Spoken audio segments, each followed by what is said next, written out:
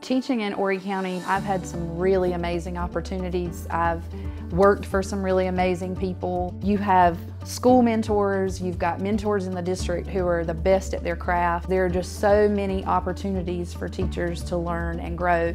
I wouldn't be the teacher I am today without those opportunities.